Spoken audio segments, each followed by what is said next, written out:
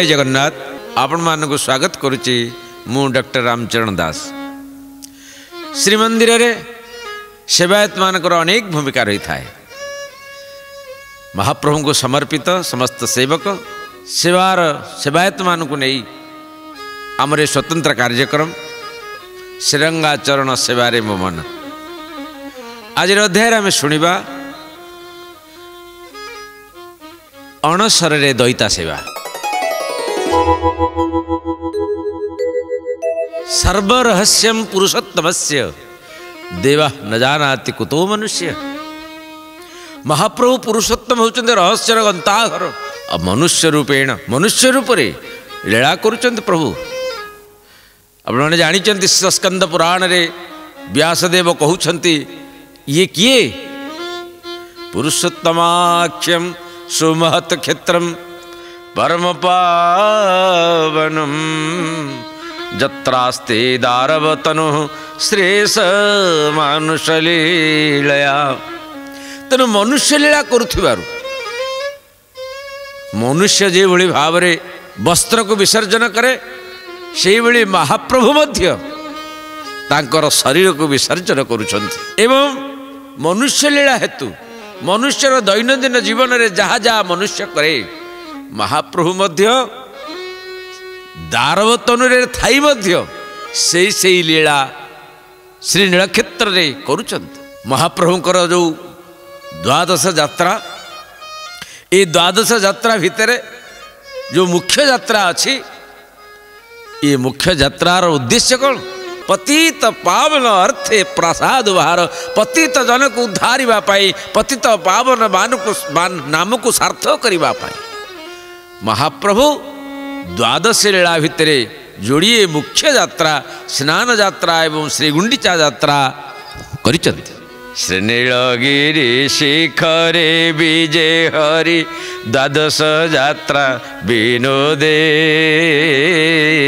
ସ୍ନାନ ଶ୍ରୀ ଗୁଣ୍ଡିଚା ଅୟନ ଶୟନ ପାର୍ଶ୍ୱପାଲଟୟ ମୋଦେ ମହାପ୍ରଭୁଙ୍କର ଦ୍ୱାଦଶ ଯାତ୍ରା ସେଥିରେ ଦ୍ୱାଦଶ ଯାତ୍ରାରେ ଆପଣ ଦେଖିଲେ ଶୟନ ଅୟନ ପାର୍ଶ୍ୱ ପାଲଟ ବୋଧେ ବର୍ତ୍ତମାନ ଯେତୋଟି ତାଙ୍କର ନୀତି ରହିଛି ଯେତୋଟି ଯାତ୍ରା ରହିଛି ସେ ଯାତ୍ରା ଭିତରେ ଦ୍ୱାଦଶ ଯାତ୍ରା ଭିତରେ ସ୍ନାନ ସେ ଗୁଣ୍ଡିଚା ହେଉଛି ମୁଖ୍ୟ ଏବଂ ତା ଭିତରେ ଦେବ ଉତ୍ଥାପନ ମକର ଓଢ଼ଣ ଦେବ ଉତ୍ଥାପନ ମକର ଓଢ଼ଣ ଦୋଳଦ ମନକ ଚୋରି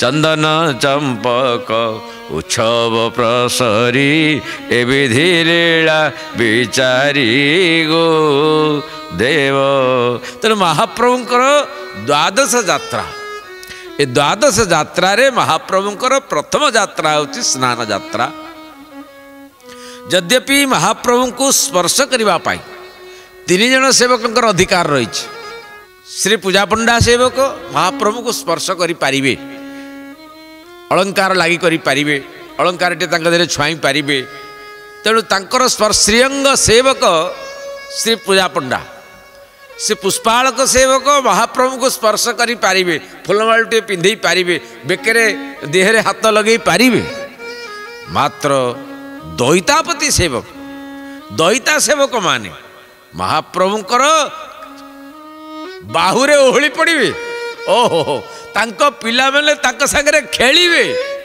କାହିଁକି ନା ସେ ତାଙ୍କର ବଂଶଧର ତେଣୁ ଏଇ ଯେଉଁ ମହାପ୍ରଭୁଙ୍କର ଅନବସର ହୁଏ ଅର୍ଥାତ୍ ମହାପ୍ରଭୁ ସ୍ନାନ ପୂର୍ଣ୍ଣମୀ ଦିନ ଯେତେବେଳେ ସ୍ନାନ କରନ୍ତି ଯେମିତି ହାତୀ ପୋଖରୀରେ ପଶିଲେ ଗାଧାଏ ଶୁଣ୍ଡରେ ତାର ପାଣି ଅଜସ୍ର ପାଣି ଅଜାଡ଼ି ହୁଏ ସେଇଭଳି ମହାପ୍ରଭୁଙ୍କ ମସ୍ତକରେ ଶହେ ଆଠ ଗରା ପାଣି ତାଙ୍କ ମସ୍ତକରେ ଢଳା ହୁଏ ଏବଂ ମହାପ୍ରଭୁମାନେ ସ୍ନାନ କରନ୍ତି ଚତୁର୍ଦ୍ଧା ମୂର୍ତ୍ତିଙ୍କୁ ଶହେ ଆଠ ଗରା ପାଣିରେ ସ୍ନାନ କରି ଦିଆଯାଏ ପ୍ରଭୁ ତ ବର୍ଷକରେ ଥରେ ଗାଧାନ୍ତି କହିଲେ ଚଳେ। ଅର୍ଥାତ୍ ସବୁଦିନ ଯେତେ ଗାଧାନ୍ତି କେବଳ ବିମ୍ବ ସ୍ନାନ ଦର୍ପଣରେ ସ୍ନାନ କରନ୍ତି। ଏକମାତ୍ର ଶ୍ରୀ ସ୍ନାନ ପୂର୍ଣ୍ଣିମା ଯେଉଁଦିନ ମହାପ୍ରଭୁ ସାକ୍ଷାତରେ ନିଜେ ସିଂହାସନ ପରିତ୍ୟାଗ କରି ମଣ୍ଡପକୁ ଆସନ୍ତି ଦୋଳ ଶ୍ରୀ ମଣ୍ଡପ ଉପରେ ବସି ଚତୁର୍ଦ୍ଧା ମୂର୍ତ୍ତି ସ୍ନାନ କରନ୍ତି। ଏଇ ଯେଉଁ ସ୍ନାନ ଇଏ ସ୍ନାନ ଅପୂର୍ବ କାହିଁକି ନା ଆଜି ପ୍ରଥମ ହେଉଛି ଯାତ୍ରାର ଏମାରମ୍ଭ ମହାପ୍ରଭୁଙ୍କର ବାର୍ଥ ଡେ ମହାପ୍ରଭୁଙ୍କର ଜନ୍ମଦିନ ଆରେ ଆମେ ସବୁ ବର୍ଷ କୌଣସି କ- କ୍ରିୟାକର୍ମ ଭିତରେ ଆମେ ଆମର ଜନ୍ମଦିନଟାକୁ ଭୁଲୁନୁ ପାଳୁଛୁ। ତେଣୁ ମହାପ୍ରଭୁ ଯେତେବେଳେ ବ୍ରହ୍ମା ପଚାରିଲେ କହିଲେ ପ୍ରଭୁ ଆପଣଙ୍କର ଯାତ୍ରା ଉପଯାତ୍ରା କେମିତି ହେବ? ଏକଥା ଟିକେ ଇନ୍- ଇନ୍ଦ୍ରଦମନ ଚାହୁଁଛନ୍ତି। ଆପଣ ଟିକେ ତାକୁ ବତାନ୍ତୁ। ବ୍ରହ୍ମାଶ୍ରୀ କହୁଛନ୍ତି ଭଗବାନ ନିଜେ ମୁଖାର ବିନ୍ଦୁରୁ କହୁଛନ୍ତି କାଷ୍ଠ ଦେହେ ପି ଦାରୁ ଦେହେ ପି ବିହସନ୍। ଭଗବାନ ଦାରୁଙ୍କର ଦେହ ଥାଇ ଦାରୁ ଦେହରେ ଥାଇ ମଧ୍ୟ ବିହସନ୍। ଟିକେ ହସି ହସିକିରି ମୃଦୁ ହସିକିରି କହୁଛନ୍ତି ଇନ୍ଦ୍ରଦମନ ମୋର ଜନ୍ମଦିନଟାକୁ ପ୍ରଥମେ ପାଳିବି। ତେଣୁ ପ୍ରଥମରେ ଜନ୍ମଦିନ ପାଳିଲେ ସ୍ନାନ ପୂର୍ଣ୍ଣିମାରେ ମୋତେ ସ୍ନାନ କରେଇବ। ଶହେ ଆଠ ଗରା ପାଣିରେ ମୋତେ ଅଭିଷେକ କରେଇବ ସ୍ନାନ କରେଇବ ଆଉ ଭଗବାନଙ୍କୁ ଯେତେବେଳେ ଦୈତାପତି ମାନେ ଆଣିଥାନ୍ତି ପାଟ ଡୋରରେ ରସିକ ଦୌଡ଼ିରେ ବାନ୍ଧିକିରି ଡୋରିରେ ହଲେଇ ଚଲେଇକିରି ଆଣିଥାନ୍ତି ଦୋହଲେଇକିରି ଆଣିଥାନ୍ତି ଘର୍ମାକ୍ତ ଶରୀର ଏ ଶରୀର ଦେହରେ ଯେତେବେଳେ ପାଣି ବାଜିଯାଏ ଭଗବାନ ସ୍ନାନ କରିଦିଅନ୍ତି ଏବଂ ସ୍ନାନ କରିସାରିଲା ପରେ ପରେ ଏକା ଥରେକେ ଯାହା ଖାଇବା କଥା ସବୁ ଖାଇଦିଅନ୍ତି ଗୀତାରେ କହିଲେ ଆହାର ଏବଂ ସ୍ନାନ ଇଏ ଯଦି ଠିକ୍ ନ ରହିଲା ତାହେଲେ ରୋଗ ରୋଗଗ୍ରସ୍ତ ହବ ତେଣୁ ମହାପ୍ରଭୁଙ୍କ ଆହାର ଠିକ୍ ରହିଲାନି କି ସ୍ନାନ ବି ଠିକ୍ ରହିଲାନି ବାହାର ଜାଗାକୁ ଯାଇଛନ୍ତି ବାହାରକୁ ପ୍ରଭୁ ଆସିଛନ୍ତି ଆମେ ଯଦି ଖୁବ୍ ଗାଧେଇବା ତାହେଲେ ଥଣ୍ଡା ହବ ତେଣୁ ଏକ ତ ଗରମ ଦିନ ତା ଦେହରେ ଅଜସ୍ର ପାଣିରେ ସ୍ନାନ କଲେ ଏବଂ ଯେତେବେଳେ ଗାଧେଇ ପଡ଼ିକିରି ପ୍ରସାଦ ପାଇ ଦେଇଛନ୍ତି ମହାପ୍ରଭୁଙ୍କୁ ଧୀରେ ଧୀରେ ଧୀରେ ଧୀରେ ଜ୍ୱର ଆସିଛି ये लोक शिक्षा, लोक चरित्र भक्तवान को पावन करने महाप्रभु महाप्रभुकर लीला। महाप्रभु जिते विदा होकर बाहुड़ा जात्रा करके अर्थात श्री स्नान मंडपुर रत्न सिंहासन पाखक जाती आउ सिंहासन उपरक उठी पारि ना आउ जापारि ना अणसर पिंडी बोली कहुए जय विजय द्वार पाखर जा कलाहाट द्वार मझीरे महाप्रभु से अटकी जाइ आउ जापारि ना ଜ୍ୱର ଏତେ ଜୋରରେ ହେଲା ଆଉ ଯାଇପାରିଲେନି ଖାଲି ତ ପ୍ରଭୁ କମ୍ପିଲେ ଆଉ। ତେଣୁ ମହାପ୍ରଭୁ ଏତେ ଗରମରେ ଯେତେ ଜ୍ୱରରେ ଜ୍ୱରାକ୍ରାନ୍ତ ହୁଅନ୍ତି ମହାପ୍ରଭୁ ଆଉ ଶୋଇବାକୁ ମାନେ କିଛି ଆଉ ହଲଚଲ ହେଇପାରିବେନି। ସେମିତି ଯେଉଁ ଗାଧୁଆ ହେଇକି ଯାଇଥିବେ ଯେଉଁ ବସ୍ତ୍ର ପିନ୍ଧିଥିବେ ସେମିତି ଉପରକୁ ମୁହଁ କରି ବସି ରହିବେ। ଦ୍ୱିତୀୟ ଦିନ ଅର୍ଥାତ୍ ଆପଣ ଜାଣିଲେ ଅମାବାସ ପୂର୍ଣ୍ଣିମା ଦିନ ରାତିରେ ଗଲେ। ପ୍ରତିପଦା ଦିନ ଆଉ ମହାପ୍ରଭୁ କହିଲେ ମୋତେ କେହି ଆଉ କିଛି କହନି କି ଡିଷ୍ଟର୍ବ କରନି। ମୁଁ ଏଠି ରହିଲି। ଦଇତାମାନେ ମହାପ୍ରଭୁଙ୍କ ପାଖାପାଖି ଥାଆନ୍ତି କିନ୍ତୁ ମହାପ୍ରଭୁଙ୍କର ଆଉ କୌଣସି କାର୍ଯ୍ୟରେ ସେମାନେ ସେଦିନ ନାହିଁ। ମହାପ୍ରଭୁ ସେଦିନ ସମ୍ପୂର୍ଣ୍ଣ ଭାବରେ ଆରାମ ବିସ୍- ବିଶ୍ରାମ କଲେ। ଯେତେବେଳେ ଦ୍ୱିତୀୟା ଆସିବ ଦ୍ୱିତୀୟା ଦିନ ସେବକମାନେ ମହାପ୍ରଭୁଙ୍କ ପାଖକୁ ଗଲେ ଦଇତାପତିମାନେ ଗଲେ। ମହାପ୍ରଭୁଙ୍କୁ ତ ଜ୍ୱର ହେଇଛି ତେଣୁ ଡାକ୍ତର ଆମକୁ ଜ୍ୱର ହେଲେ ଆମେ ଯେମିତି ସାଧା ଜିନିଷ ଟିକେ ଖାଇବା ବେଳାଟେ ଖାଇବା ଏବଂ ଯିଏ ହଜମ ହେଇଯିବ ସରଳରେ ତାକୁ ଖାଇବା ପଥିପାଚନରେ ରହିବା ସେଇଭଳି ମହାପ୍ରଭୁ ଯେହେତୁ ଲୀଳା କରୁଛନ୍ତି ମନୁଷ୍ୟ ଲୀଳା ସେ ମଧ୍ୟ ସେଇ ପଥିପାଚନରେ ରହିବେ ଏବଂ ସେଇଭଳି ଭାବରେ ମହାପ୍ରଭୁଙ୍କର ଶ୍ରୀଅଙ୍ଗ ଫିଟା ହେବ। ସେଥିରେ କ'ଣ ଶ୍ରୀଅଙ୍ଗ ଫିଟା ହେବ? ନା ବର୍ଷକ ଯାକ ଯେତେବେଳେ ଚନ୍ଦନ ସବୁ ଲାଗିକିରି ଥିବ ମହାପ୍ରଭୁଙ୍କର ଇଏ ପନ୍ଦର ଦିନରେ ଗୋଟାଏ ସମ୍ପୂର୍ଣ୍ଣ ଭାବରେ ମହାପ୍ରଭୁଙ୍କୁ ବିଶ୍ରାମ ସହିତ କେତେ ଗୁଡ଼ିଏ ଜିନିଷ ୟା ଦେହରୁ ସାରାଂଶ ମିଳେ ଯେ ମହାପ୍ରଭୁ ନିଜର ଯେଉଁ କଳେବରକୁ ତାକୁ ଟିକେ ଠିକ୍ ଠାକ୍ କରିବା ଏବଂ ତାଙ୍କର ଯେଉଁ ଅ, ବିଶ୍ୱାବସୁ ବଂଶ ଏବଂ ଏ, ତା ବିଦ୍ୟାପତି ବଂଶକୁ ଗୋଟେ ସୁଯୋଗ ଦେବା ସେବାର ସୁଯୋଗ ଦେବା ପାଇଁ ମହାପ୍ରଭୁ पंदर दिन अणसर रहती। ज्वर है ये आउ कौन सी प्रकार या भितर वैदिक पूजा अर्चनार काम ना केवल विद्यापति एवं विश्वावसुवंश मान। दईता एवं पति। दईता पति माने दईता एवं पति। पति महापात्र ब्राह्मण एवं दईता जो मैंने से ब्राह्मण ତେଣୁ ଏଇ ବ୍ରାହ୍ମଣ ବ୍ରାହ୍ମଣଙ୍କର ଯେଉଁ ମିଶ୍ରିତ ପୂଜା ଇଏ ହେଉଛି ଅଣସରରେ ଚାଲେ ଦ୍ୱିତୀୟ ଦିନ ତାଙ୍କ ଦେହରୁ କରାଳ ଚନ୍ଦନ ଭିତରେ ଯେଉଁ ଥିବା ଚନ୍ଦନ ଏସବୁ କଢ଼ା ହେଇଯାଏ ଶ୍ରୀଅଙ୍ଗ ଫିଟାଇ ଦିଆଯାଏ ଏବଂ ତାଙ୍କ ଦେହରେ ଯେଉଁ ବାଗଡ଼ରେ ଲାଗିଥାଏ ସେ ଖୋଲି ଦିଆଯାଏ ଏବଂ ତାଙ୍କ ଯେଉଁ ଯେଉଁ ଜିନିଷ ତାଙ୍କ ଦେହରେ ଲାଗିଥାଏ ରସିକ ଶିକୁଳା ତାକୁ ଖୋଲି ଦିଆଯାଏ। ରସିକ ଶିକୁଳା ଶୁଆ ଥଣ୍ଟ। ମାନେ ମହାପ୍ରଭୁ ତ ବେଶ ଯେତେବେଳେ ହଅନ୍ତି ବର୍ଷକ ଯାକ ତାଙ୍କ ଅଣ୍ଟାରେ କ'ଣ ଗୋଟେ ରହିଲେ ତ ସିଏ ଏ, ତା ଦେହରେ ଆମେ ସବୁ ଖୋସାଖୋସି କରିଦେବେ ତେଣୁ ତାଙ୍କ ଦେହରେ ଗୋଟେ ରସିକ ଶିକୁଳା ଥାଏ। ରୂପା ଦିହରେ ତିଆରି ହେଇଥିବା ଗୋଟେ ରସିକ। ଯେମିତି ଆମ ଘରେ ପିଲାଟିଏ ଜନ୍ମ ହେଇଗଲେ ଆମେ ଯେମିତି ତା କରଧନି ଯାଉ କହନ୍ତି ଅଣ୍ଟା ବିଛା ସେମିତି ମହାପ୍ରଭୁଙ୍କର ମଧ୍ୟ ଗୋଟେ ଅଣ୍ଟା ବିଛା ଥାଏ। ଇଏ ବର୍ଷକ ଯାକ ରହିବ। ଯେତେବେଳେ ସ୍ନାନ କରିକିରି ଆସିଯିବେ ସେତେବେଳେ ସେ ଅଣ୍ଟା ବିଛାଟା ଖୋଲା ହେଇଯିବ। ଅଣ୍ଟା ବିଛା ରସିକ ଶିକୁଳା ତାକୁ କୁହନ୍ତି ମହାପ୍ରଭୁଙ୍କର ଖୋଲା ହେଇଯିବ। କାହିଁକି? ନା ମହାପ୍ରଭୁଙ୍କୁ ଜ୍ୱର ହେଇଛି ଦେହରେ କିଛି ରହିବନି। ତେଣୁ ସବୁ ଖୋଲି ଦିଆଯିବ ବସ୍ତ୍ର ଖୋଲି ଦିଆଯିବ। ଏବଂ ମହାପ୍ରଭୁ ସେମିତି ଖଣ୍ଡିଏ ବସ୍ତ୍ରରେ ଧଳା ବସ୍ତ୍ର ଖଣ୍ଡିଏ ପିନ୍ଧିକିରି ମହାପ୍ରଭୁ ରହିବେ। ଦେଖନ୍ତୁ ମହାପ୍ରଭୁ ଆଉ ତାଙ୍କ ସେବକ କେତେ ସମର୍ପିତ ସେବକ ଦଇତା ସେବକ। ମହାପ୍ରଭୁଙ୍କୁ ଜ୍ୱର ହେଇନି ଯେ ଜ୍ୱର ଦଇତାମାନଙ୍କୁ ହେଇଛି। ତେଣୁ ଦଇତାପତି ମାନେ ସିଏ ମଧ୍ୟ ଖଣ୍ଡିଏ ଧଳା ବସ୍ତ୍ର ପିନ୍ଧିବେ ଦୁଇ ଖଣ୍ଡ ବସ୍ତ୍ର ବ୍ୟବହାର କରିବେ ନାହିଁ। ସେମାନେ ବହୁ ନୀତି ନିୟମରେ ରହିବେ ମହାପ୍ରଭୁଙ୍କୁ ଆମର ଜ୍ୱର ହେଇଛି। ସିଏ ମଧ୍ୟ ଘରେ ସମ୍ପୂର୍ଣ୍ଣ ଭାବରେ ସାତ୍ವಿକ ଏବଂ ସମ୍ପୂର୍ଣ୍ଣ ଭାବରେ ବକ୍ତେ ଖାଇ ମହାପ୍ରଭୁଙ୍କ ସେବାରେ ଲାଗି ରହିବେ। ଯେଉଁଦିନ ମହାପ୍ରଭୁଙ୍କର ପଞ୍ଚମୀ ତିଥି ହେବ ସ୍ନାନର ପାଞ୍ଚ ଦିନ ଏଦିନ କ'ଣ ହେବ? ମହାପ୍ରଭୁଙ୍କ ଦିହେରେ ଗୋଟେ ତେଲ ମାଲିସ ହେବ। ଜ୍ୱର ହେଇଛି ଦିଅମୁଣ୍ଡ ଛେଚିକୁଟି ହେଉଛି ବିନ୍ଧା ଚିଟିକା ହେଉଥିବ ତେଣୁ ତାଙ୍କର ସେବକମାନେ ତାଙ୍କ ଦେହରେ ଗୋଟେ ତେଲ ମାଲିସ କରନ୍ତି ସେଇଟା ହେଉଛି ଫୁଲୁରି ତେଲ। ଏଥିରେ ଜୁଇ ଯାଇ ଏବଂ ମାଳତୀ ମଲ୍ଲି ଏବଂ ରାଶି ତେଲ ମାନେ ଘଣା ପେଡ଼ା ଖାଣ୍ଟି ରାଶି ତେଲ। ଏବଂ ସେଥିରେ କ'ଣ ହେବ? କର୍ପୂର କେଶର କିଆ କେତକୀ ଏସବୁ ପଡ଼ିକିରି ବଡ଼ ଓଡ଼ିଆ ମଠ ସେ ବର୍ଷକ ଆଗରୁ ମାଟି ତଳେ ପୋତିକିରି ରଖିଥିବେ। ଇଏ ତେଲ ଅଳ୍ପ ତେଲ ତ ପ୍ରଭୁଙ୍କୁ ପାଇବନି। ମିନିମମ୍ ଦଶ ଶିର ଭଳିଆ ତେଲ। ଇଏ ତେଲ ବର୍ଷକ ଆଗରୁ ସେଠି ମାଟି ତଳେ ପୋତା ହେଇକିରି ଥିବ ସେଇଦିନ ଏ ତେଲ ବାହାରିବ ଏବଂ ମହାପ୍ରଭୁଙ୍କ ସେବା ପାଇଁ ଯିବ।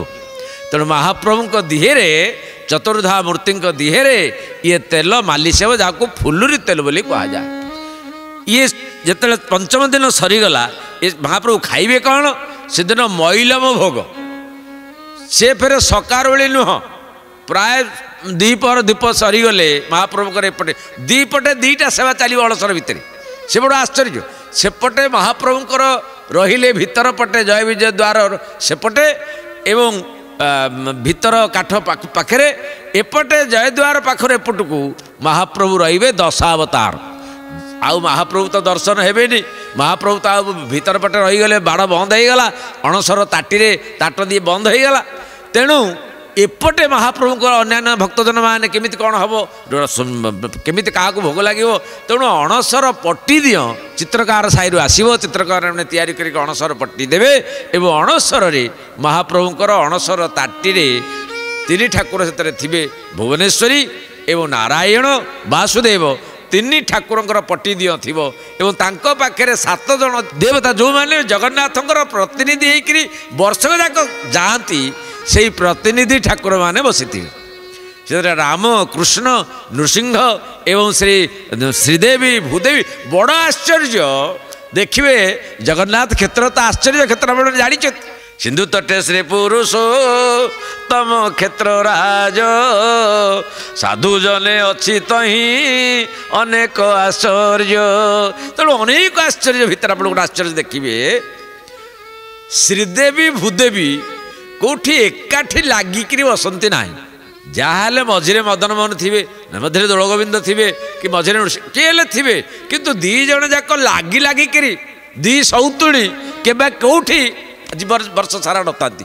କିନ୍ତୁ ଏଇ ଯେଉଁ ପନ୍ଦର ଦିନ ଅଣସର ହବ ସେଇଠି ଦୁଇ ଜଣ ଯାକ ଲାଗିକିରି ଥିବେ ପଟ୍ଟିଚିତ୍ରରେ ଥିବେ ଭୁବନେଶ୍ୱରୀ ଏବଂ ତଳେ ଦୁଇ ଜଣ ଥିବେ ଶ୍ରୀଦେବୀ ଏବଂ ଭୂଦେବୀ। ଏବଂ ଏପଟେ ଶ୍ରୀ ଜଗନ୍ନାଥଙ୍କ ବାଡ଼ିରେ ଏଠି ମଦନମୋହନ ଥିବେ ଏଠି ଶ୍ରୀ ବାସୁଦେବ ସେ- ଉପରେ ଆପଣଙ୍କର ବାସୁଦେବ ଚିତ୍ର ଥିବ ବାସୁଦେବଙ୍କର ମୂର୍ତ୍ତି ଥିବ ଏଇଭଳି ଭାବରେ ଦଶଟି ମୂର୍ତ୍ତିର ପୂଜା ହୁଏ ବୋଲି ତାକୁ ଦଶାବତାର ଯାତ୍ରା ବୋଲି କୁହାଯାଏ ତେଣୁ ଏପଟେ ମହାପ୍ରଭୁଙ୍କର ସେବା ସରିଲେ ସେପଟେ ଅଣସର ତାଟି ଖୋଲିବ ଏବଂ ବେହରଣ ଦ୍ୱାର ବାଟେ ଦଇତାପତି ମାନେ ଭିତରକୁ ଯିବେ ଏବଂ ସେପଟେ ନୀତି ଆରମ୍ଭ ହେବ ଏପଟେ ବନ୍ଦ ହେବ ଏଇଭଳି ଭାବରେ କ୍ରମାନ୍ୱୟରେ ଯେତେବେଳେ ଅଣସର ପଟିରେ ମହାପ୍ରଭୁଙ୍କର ପୂଜା ହେବ ସେପଟେ ଏପଟେ ଆ, ଦଶାବତାରର ପୂଜା ବନ୍ଦ ହେବ ଦଶାବତାରର ପୂଜା ହେଇ ସରିଲେ ସେପଟେ ପୂଜା ଆରମ୍ଭ ହେବ ଏଇଭଳି ଭାବରେ ଆପଣ ଦେଖିବେ ଯେତେବେଳେ ମଇଲମ ଭୋଗ ବୋଲି କୁହାଯାଏ ସେଥିରେ ଉମ୍, ଯେ ସକାଳ ଧୂପ ଏପଟେ ସରିଗଲା ଦ୍ୱିପର ଧୂପ ସରିଲା ଦ୍ୱିପର ଧୂପ ସରି କେତେବେଳେ ଦ୍ୱାର ବନ୍ଦ ହେଲା ସେପଟ ଦ୍ୱାର ଖୋଲିବ ଅର୍ଥାତ୍ ଅଣସର ଦ୍ୱାର ଖୋଲିବ ଏ ଅଣସର ଦ୍ୱାର ଖୋଲିଲେ କ'ଣ ହେବ ନା ଭଗବାନଙ୍କୁ ମଇଲମ ଭୋଗ ପ୍ରଥମ ଭୋଗ ଯାହାକୁ କୁହନ୍ତି ସେଇଟା ଭୋଗ ଲାଗିବ। କ'ଣ ଲାଗିବ ସେଥିରେ କହିଲେ ମୁଗ ନଡ଼ିଆ ଚିନି। ଏଇଟାର ଗୋଟେ ଖେଚିଡ଼ି ଟାଇପ୍ର ଭୋଗ ତିଆରି ହେଇକି ମହାପ୍ରଭୁଙ୍କୁ ଲାଗିବ। ସେ ଭୋଗ କିଏ ଲଗେଇବ? ସେଇଟା ମହାପ୍ରଭୁଙ୍କର ଶ୍ରୀ ଆ, ପତି ମହାପାତ୍ରେ ସିଏ ଭୋଗ ଲଗେଇବ। ଇଏ ତାଙ୍କ ସୁଦସ୍ୱାର ଯେ ସେ ଠା କରିବେ ଏବଂ ସିଏ ତାଙ୍କୁ ଭୋଗ ଲଗେଇବେ। ଏଇ ଯେଉଁ ଭୋଗ ଏ ସୁନା ଗୋସେଇ ମସରୁ ଆମର ଯେଉଁ ମଠ ଗୁଡ଼ିଏ ଅଛି ତା ଭିତରେ ସୁନା ଗୋସେଇ ମଠ ଅଛି ଯେଉଁ ଯାହାଙ୍କ ଦ୍ୱାରା ସୁନା କୂଅରୁ ପାଣି ଆସି ପ୍ରଭୁ ଗାଧେଇକିରି ଜ୍ୱର ହେଇଛି ଆମର ଗୋଟେ କଥାରେ କହିଛି ମାଣ୍ଡିଆ ଯାଉ ଖୋଇଲା ଯିଏ? ହଗେଇ ମୁତେ ନ ବସି। ତେଣୁ ଯେତେବେଳେ ସୁନା ଗୋସେଇ ପାଣି ଆଣିଛନ୍ତି ସୁନା କୂଅରୁ ପାଣି ଆଣିକି ପ୍ରଭୁ ଗାଧେଇଛନ୍ତି ପ୍ରଭୁଙ୍କୁ ଜ୍ୱର ହେଲା ସୁନା ଗୋସେଇ ମଠରୁ ଆସିଲା ଆଠ ଓଳି ତାଙ୍କର ଖାଦ୍ୟ। ଏ ଆଠ ଓଳି ଓଳିରେ ମହାପ୍ରଭୁଙ୍କୁ ଖାଇବାକୁ ଦିଆଯିବ ସେଇଟା ହେଉଛି ପ୍ରଥମ ଭୋଗ ସନ୍ଧ୍ୟାବେଳେ।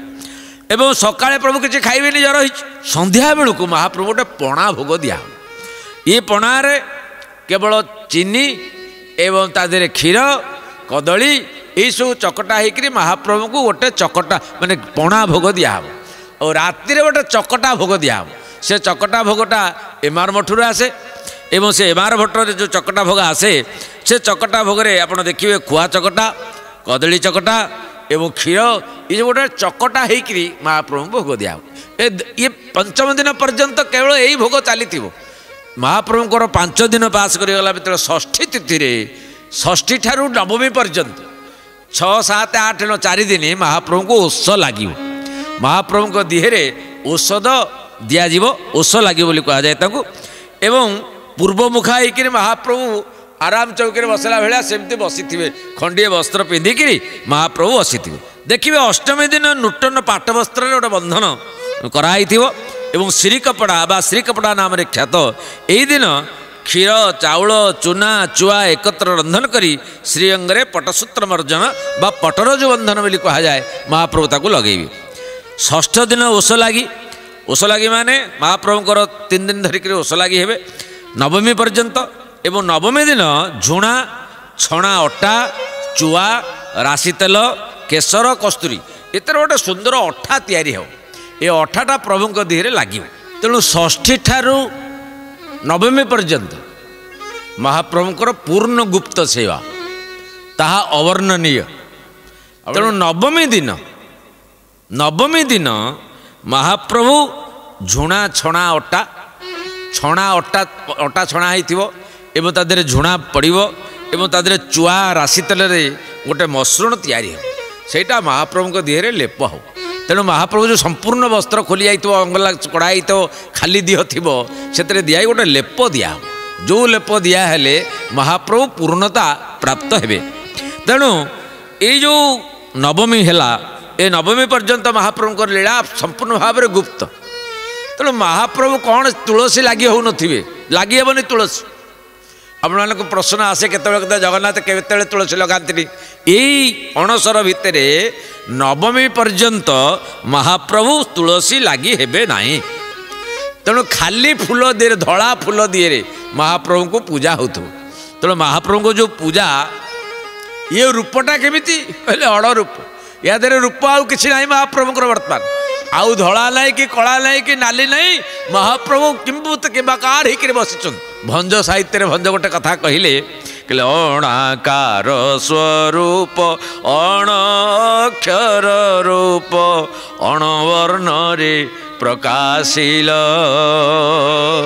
ଅଣସରରେ ରହି ସବର ଭାବ ଧ୍ୟାଇ। ଅଣସରରେ ରହି ସବର ଭାବ ଧ୍ୟାଇ। ଅଣବେଦକୁ ଆଚରିଲ। ହେ নিরাদৃশ অণকুলীয় গণি প্রীত অণসজনঙ্কর রীত অণভাষ্য প্রবଳ অণচারিবহଳ অণভক্তরে নিমন্ত্রিল হে নীলাদৃশ ଅଣାକାର ସ୍ୱରୂପ ଅଣ ଅକ୍ଷର ରୂପ ଅଣମୂର୍ତ୍ତିରେ ବିଚାରିଲ ଅଣବର୍ଣ୍ଣରେ ପ୍ରକାଶିଲ ଅଣସରରେ ରହି ଶବର ଭାବ ଦିଆଇ। ତେଣୁ ଶବର ଯେମିତି ପୂଜା କରୁଥିଲା ବିଶ୍ୱାବସୁ। ନମନ୍ତ୍ରଂ ନୋ ଯନ୍ତ୍ରಂ ତଦପି ଚ ନ ଜାନେ ସ୍ତୁତି ମହୁ। ନ ଚାହ୍ୱାନಂ ଧ୍ୟାନಂ ତଦପି ଚ ନ ଜାନେ ସ୍ତୁତି କଥା। ପ୍ରଭୁ ମୁଁ ମନ୍ତ୍ର ଜାଣିନି କି ତନ୍ତ୍ର ଜାଣିନି? ପ୍ରଭୁ ମୁଁ କିଛି ଜାଣିନି କେବଳ ତୁ ମୋର ମୁଁ ତୋର ଏଇ ଭାବନାରେ ସମ୍ପୂର୍ଣ୍ଣ ଭାବରେ ମହାପ୍ରଭୁଙ୍କୁ ପୂଜା କରନ୍ତି ତେଣୁ ଯେତେବେଳେ ମହାପ୍ରଭୁଙ୍କର ଏଇ ଯେଉଁ ସେବା ଚାଲେ ଇଏ କେବଳ ପ୍ରେମର ସେବା ବିନା ପ୍ରେମ ସେ ନମିଲେ ନନ୍ଦ ଲାଲା ତେଣୁ ପ୍ରେମ ଯୋଉଠି ପ୍ରୀତି ଯୋଉଠି ସେଠି କିଛି ନୀତି ନଥାଏ ଯାହା ପ୍ରୀତି ତାହା ନୀତି ନେଇ ଯାହା ନୀତି ନେଇ ପ୍ରୀତି ଯୋଉଠି ନୀତି সেটি প্রীতির আবশ্যকতা পড়ি পারে না পারে কিন্তু যেটি প্রীতি অছি সেটি নীতির কিছু আবশ্যকতা নাই সেটি নিয়মর কিছু আবশ্যকতা নাই ভগবানকু দৈতাপতি মানে সম্পূর্ণ ভাবরে প্রেমরে সেবা করুথাও এবং তা ভিতরে যাহা ভোগ লাগিব তাকুই সেই ভিতরে দৈতাপতি মানে খাইবে সেই ভিতরে ভগবান এপটে ତାକୁ ଭୋଗ ଲାଗୁଥିବା ଜିନିଷ ଖାଇବେ ସେଟା କେବଳ ଆମ୍ବ ସପୁରୀ ଏବଂ ସେପେଟା କଦଳୀ ଏଇସବୁ ପଣସ ଏଇ କେବଳ ଭୋଗ ଲାଗୁଥିବ ଫଳ ଭିତରେ। ଆଉ କେବଳ ଧଳା ଫୁଲ ଯୋଡ଼ିଏ ପ୍ରଭୁ ପିନ୍ଧୁଥିବେ ତୁଳସୀ ଫୁଳସୀ କିଛି ଲାଗିହେଉନଥିବ ଗୋଟିଏ ବସ୍ତ୍ରରେ ପ୍ରଭୁ ସେଇଭଳି ବିରାଜମାନ କରିଥିବେ। ତେଣୁ ଦଶମୀ ଦିନ ମହାପ୍ରଭୁ ଚକା ବୈଠିକି ଉଠିବେ। ଚକା ବୈଠି ମାନେ ମହାପ୍ରଭୁ ତ ତଳେ ବସିଥିଲେ ତେଣୁ ମହାପ୍ରଭୁଙ୍କୁ ଯେଉଁ ଚକା ମୁଖ ଚକା ବୈଠି ମହାପ୍ରଭୁ ତ ସବୁ ଚକା। ତାଙ୍କର ଆଖି ଚକା ତାଙ୍କର ବସିବା ହେଉଛି ଚକା। ମୋତେ ଗୋଟେ କଳା ମୁଗୁନି ପଥର ଗୋଲେଇ ମୁଗୁନି ପଥର ଯାହାକୁ ଚକା ବୈଠି ବୋଲି କହନ୍ତି। ମହାପ୍ରଭୁ ଦଶମୀ ଦିନ ଚକା ବୈଠି ଉପରକୁ ଉଠିବେ। ଏବଂ ମହାପ୍ରଭୁ ସେଦିନ ଟିକେ ଉଠିକିରି ଚକା ବୈଠି ଉପରେ ବସିବେ। ତାମାନେ ମହାପ୍ରଭୁ ଟିକେ ସୁସ୍ଥ ହେଲେଣି। ଏବଂ ସେତିକି ବେଳେ ଦଶମୀ ଦିନ ଦଶମୂଳାରିଷ୍ଟ ଦଶମୂଳ ମହାପ୍ରଭୁଙ୍କୁ ଭୋଗ ଲାଗିବ। ଏବଂ ବୈଦ୍ୟରାଜ ମାନେ ମହାପ୍ରଭୁଙ୍କୁ ଦଶମୂଳ ଭୋଗ କରେଇବେ। ବୋଲେ ଗୋଟେ ସମ୍ପୂର୍ଣ୍ଣ ଭାବରେ ଦେହକୁ ତାକତ କରିବା ପାଇଁ ବଳ କରିବା ପାଇଁ ଗୋଟେ ମୋଦକ ତେଣୁ ମୋଦକ ତିଆରି କରି ଦଶାମୂଳରେ ତିଆରି ହେବ ଯେଉଁ ଯେଉଁ ଜିନିଷରେ ତିଆରି ହେବ ଆମେ ଆଗାମୀ ଅଧ୍ୟାୟରେ ପିନ ତାକୁ କହିବା। ତେଣୁ ଏଇ ଯେଉଁ ଦଶମୂଳ ମହାପ୍ରଭୁ ଖାଇବେ ଏବଂ ଚକା ବୈଠି ଉପରେ ଉଠିକରି ବସିବେ ସେଇଦିନ ମହାପ୍ରଭୁଙ୍କୁ ଧୀରେ ଧୀରେ ଟିକେ ଭଲ ହେଇଗଲେ ବୋଲି ସମ୍ବାଦ ଆସିବ ବା ମହାପ୍ରଭୁ ସେଦିନ ଭଲ ହେଲା ଭଳି ଲାଗିବ। ତେଣୁ ମହାପ୍ରଭୁ ସେଇଦିନ ଟିକେ ସୁସ୍ଥ ହେଲେ ବୋଲି ପରିଗଣିତ ଦୈତାମାନେ କରନ୍ତି ଟିକେ ଆଶ୍ୱସ୍ତ ଅନୁଭବ କରନ୍ତି ଯେ ନାଇଁ ପ୍ରଭୁ ଟିକେ ସୁସ୍ଥ ହେଲେଣି ଶୋଇବା ପ୍ରଭୁ ଟିକେ ବସିଲେଣି ଏବଂ ଆଜି ଯେଉଁ ଖାଦ୍ୟ ଖାଉଥିଲେ ତା ଦେହରେ ଆଉ ଟିକେ ପରିବର୍ତ୍ତନ କରାଗଲାଣି ଫଳମୂଳରେ ଆଉ ଟିକେ ଚେଞ୍ଜ କରାଗଲାଣି ତେଣୁ ମହାପ୍ରଭୁ ଟିକେ ସୁସ୍ଥ ହେଲେଣି। ତେବେ ଯାହା ବି ହେଉ ଦଶମୀ ଦିନ ମହାପ୍ରଭୁଙ୍କର ଦଶମୀ ଠାରୁ ପୂର୍ଣ୍ଣ ଅଙ୍ଗରାଗ ଯେଉଁ ଅଙ୍ଗରାଗ ପ୍ରଭୁ ଲଗାଉନଥିଲେ ପୂର୍ଣ୍ଣ ଅଙ୍ଗରାଗ ବା ଚନ୍ଦନ ଲାଗି ଆରମ୍ଭ ହେଲା ମହାପ୍ରଭୁଙ୍କୁ ଟିକେ ଟିକେ ଚନ୍ଦନ ଦିଆଯିବ ତେଣୁ ଯେଉଁ ଚନ୍ଦନ ଲାଗି ପରେ ଦୈତାପତିମାନଙ୍କର ଅଣସରରେ ଆଉ କ'ଣ କ'ଣ ସେବା ରହୁଛି ଆମେ ଆଗାମୀ ଅଧ୍ୟାୟରେ ଦେଖିବା ସମୟ ଆମକୁ ଇସାରା ଦେଲାଣି ତେବେ ଆଜିର କାର୍ଯ୍ୟକ୍ରମକୁ ଆମେ ଏଇଠି ରଖି ଆମେ ପୁନଃ ଆଗାମୀ ଅଧ୍ୟାୟରେ ନୂଆ ବିଷୟକୁ ନେଇକି ଆସିବା ତେଣୁ ସେ ପର୍ଯ୍ୟନ୍ତ ଆପଣମାନେ ବିଦାୟ ଦିଅନ୍ତୁ ରହୁଛି ଜୟ ଜଗନ୍ନାଥ ଜୟ ଜଗନ୍ନାଥ ଜୟ ଜଗନ୍ନାଥ